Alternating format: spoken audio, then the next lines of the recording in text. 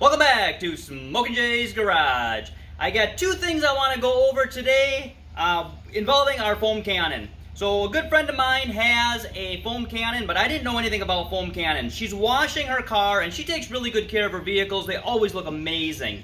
She's got this like foam thing that she's spraying all over it and I asked her what it was. She said it was a foam cannon. They were pretty expensive, but they did a nice job. So I go to, I've got a Ryobi um, pressure washer. I got that at the Home Depot, and I saw they have their own uh, foam cannon, so I thought, well, let's just check that out. It was $20, and I thought, well, $20 is not that much. She and I obviously differ very much on what's expensive. Well, I found out that they make a lot different, uh, a lot of different price ranges, and $20 is definitely the lower end. They make some that are quite a bit more expensive than that. So what I want to do today is I want to find out, well, first of all, what I did was I got the Ryobi uh, foam detergent. Yeah, this stuff is not cool. It did not react at all the way hers did. This just runs right off. By the time I drop my pressure washer and try to get a picture of it all foamy looking, like the foam is pretty much gone.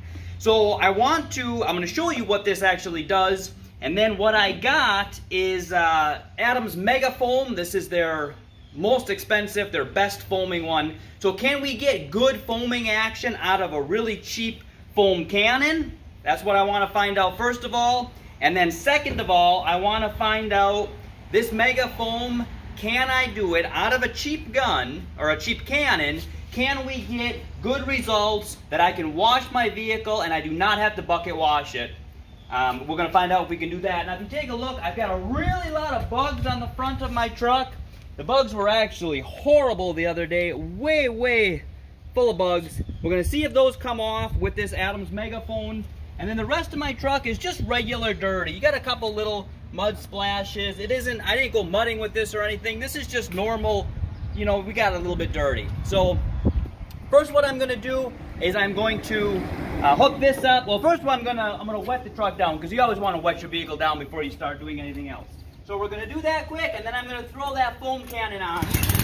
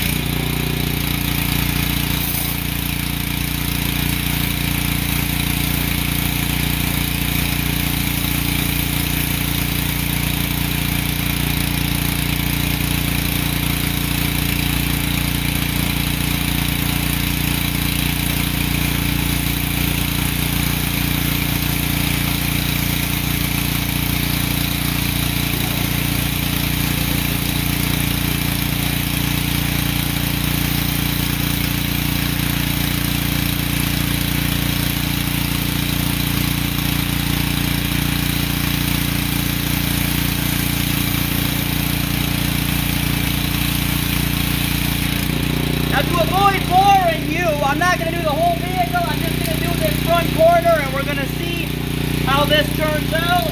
This is our just cheap Ryobi uh, foam, and in our, in our cheap Ryobi foam cannon, and we're going to see what kind of foam we get out of it.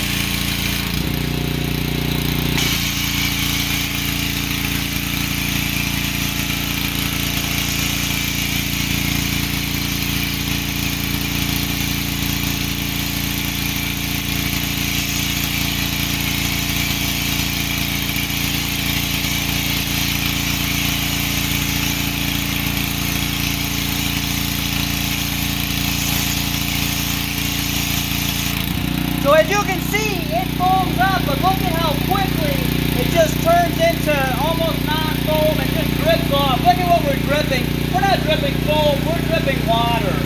So that is what I was unhappy about when I saw my friend do hers.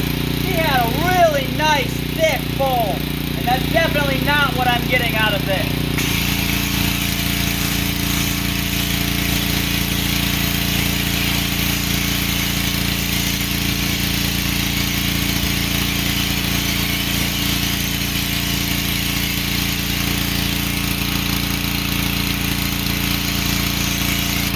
so now that you've got an idea what this looks like, I'm going to go ahead, I'm going to rinse this off, and I'm going to fill this up with the Adams polish, and we'll do this again, and we'll take a look at how it looks, all right?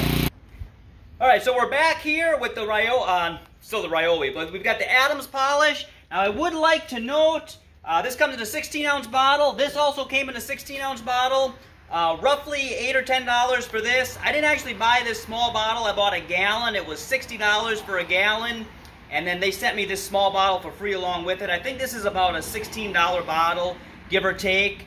Um, this takes 4 ounces of uh, detergent to mix with 8 ounces of water. This takes 2 ounces of detergent to mix with 8 ounces of water. So this, it costs double, but only use half as much. So price-wise, they're actually pretty comparable. And this is, uh, I don't think is going to work nearly as good. So if you take a look at the truck, what we did, this is with the Ryobi. You can see that we did get some bugs off of it. I mostly did just this half. You can see some of these bugs are gone. You look, here's a good comparison. Some of them are gone compared to what they were, but that is not even close to clean. I'm not happy with that at all. Uh, if you look over here, this is still wet a little bit, so it's going to look cleaner. But if you zoom in on this, you can still see once this dries, we didn't really get rid of any of that mud or anything like that. That's pretty much still there. So uh, the sun is drying this out a little bit. Now, due to the pH balance in the Adams products, they claim that you can wash it in direct sunlight. Typically, you don't want to wash your vehicle in direct sunlight. They claim that it's not going to hurt it if you do. So I'm going to quick wet this up again, and then we're going to hit it with the Adams foam.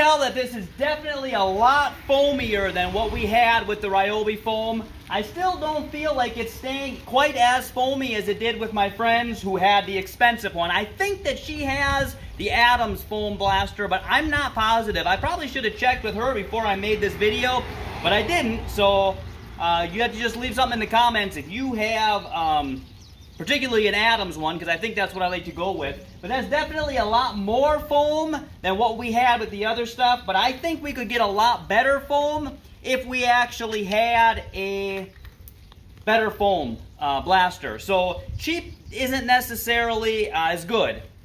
So what I am going to do is I'm going to go ahead and I'm going to rinse this off. I won't make you watch that, but I'll be right back after I rinse this off and we'll show you what it looks like. Let this sit for just a couple minutes We'll rinse it off and we'll see if with a cheap foam blaster and good foam, or what we think is good foam, I think Adam makes a pretty good product, uh, if we can get that kind of dirt off, those kind of bugs, without bucket washing. So we'll be right back after I rinse this off. Alright, I've got the truck all rinsed off good, and I dried off a few spots so we could take a look. If you look at the bugs here in the front, now these bugs, I was out camping, so these bugs have been sitting on here a couple of days. Had I got to them right away, they may have come off better, but this is definitely going to need a bucket wash. If you look up here, I dried off a nice spot on the hood here. I had some uh, some bugs a little bit here, not bad. Mostly just dust from sitting. That actually cleaned up really nice. Uh, right here where I dried it, you can see looks quite nice. We also had some mud splats up on the side here. That cleaned up very nice just with uh, the foam cannon and rinsing. Um, I wiped that spot off. You see I left some, some wet over here. Uh, I do have a couple of spots of, I think they call that rail dust or something. I'll have to get that off. The chrome cleaned up pretty nice, except it's a little bit gritty here. I'll have to actually polish that. But uh, it did a pretty nice job. Had the bugs not been sitting on there for a couple of days, maybe they would have come off. I'm not sure. But just to recap, uh, I feel that Adams Megaphone does a lot better job foam. I think I might have said phone. Mega Foam does a lot better job. It does not completely eliminate the use of a bucket, at least not with a cheap foam cannon. Uh, if we get a good foam cannon, might make a difference. I'm definitely going to invest in a better foam cannon, probably the Adams. If you have a foam cannon that you like and you think it works good, please leave it in the comments because maybe I'll do that instead of the Adams or maybe you like the Adams and then I'll know for sure to get that. If you watch this channel for the first time and you haven't already and you want to, a boom. Please subscribe.